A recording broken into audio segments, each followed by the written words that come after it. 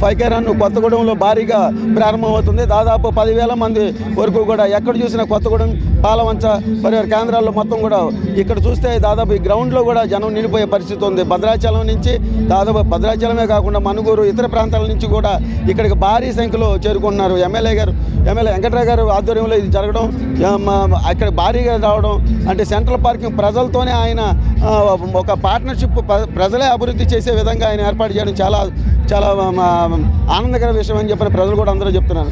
Sir చెప్పండి అసలు central park అసలు ముఖ్య ఉద్దేశం ఏంటి? అసలు ఎమ్మెల్యే గారు ఆధ్వర్యంలో ఈ రోజున ఎంతమంది దీంట్లో ఫైవ్ కేరన్లో పాల్గొంటున్నారు?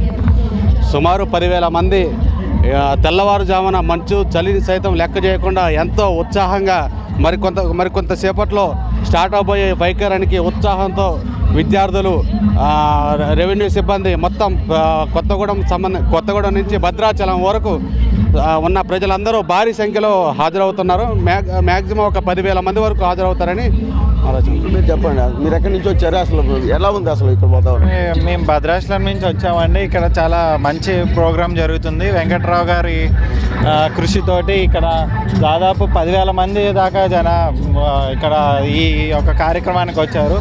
అలానే ఇది చాలా పెద్ద సక్సెస్ అయిందని మేము అనుకుంటున్నాం.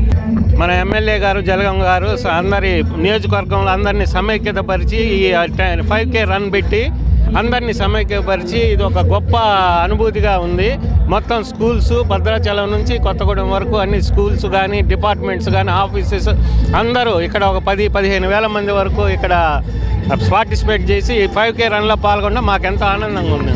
అంటే ప్రజలే ప్రజలే కాకోకుండా అలాగే అన్ని డిపార్ట్మెంట్లు రెవెన్యూ కానీ ఇటు పోలీస్ శాఖ కానీ మిగతా ఉన్న ప్రభుత్వ శాఖ అన్ని డిపార్ట్మెంట్లు కూడా ఇందులో పాల్గొనడం స్వచ్ఛందంగా జనం కూడా రావడం చక్కటి ఫైవ్ కేర్ రన్ బ్యామ్ బ్యామ్ ఫైవ్ కే రన్ అన్న సింబల్ వేసుకున్న టీషర్ట్లు వేసుకున్న వేసుకుని కూడా కనపడడం చాలా ఆనందకరంగా ఉంది.